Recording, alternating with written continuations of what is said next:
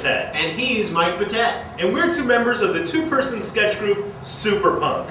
We're known the world over for doing high-energy, hilarious sketch comedy, despite the fact that we rarely perform and we're terrible actors. Now we've moved to Los Angeles, trying to make it in the business as writers or comedians or whatever we're offered. Many people have tried before us, and many of you will probably try after us. And to you we say, Don't move to Los Angeles. A lot of people tell you that as soon as you move to Los Angeles, it'll be easy as pie. You'll just walk on in and get your first guest spot on Law & Order CI. But it rarely goes that easily. There's a long audition process and you don't even get a call back sometimes. Oh my god, it's terrible.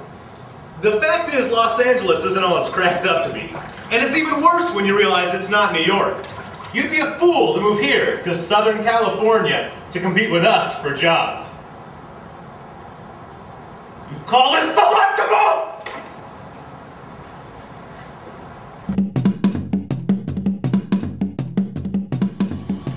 First of all, Los Angeles is hot.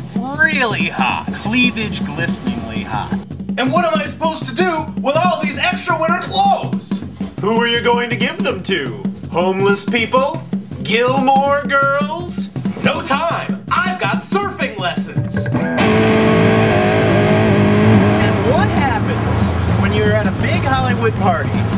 Everybody's there, Ben Affleck and Jeff Goldblum, and you've been having a great conversation with Scarlett Johansson all night, and you've made plans, but then Jeff Goldblum suddenly sweeps in like a bat out of hell and steals her away, and you're left holding the bag with nothing to do on Saturday night. No thanks. I'd rather stay at home and watch my VHS copy of Independence Day 4. Mike, it's just called Independence Day. Then why does the poster say ID 4?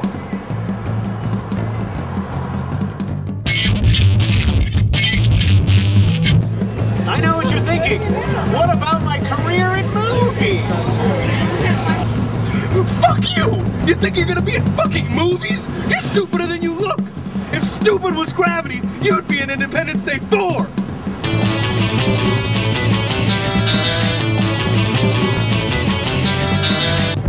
I'm convinced. I've made a terrible mistake moving here. Look at this place.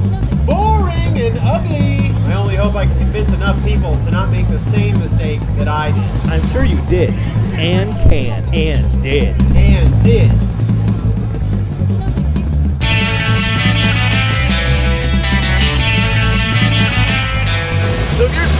Thinking about moving to Los Angeles with its hot clubs and its celebrity orgies. If you still want to live the Superpunk life, In-N-Out Burger and ample parking, think again. Sir, Scarlett Johansson's on the horn. She'd like to set up a big dinner at a hot celebrity club with ample parking. Well, tell her to wait a damn minute. We're taping a video for Chicago's Sketch Festival. Ooh, sirs, can I be in it? Never! That will be all.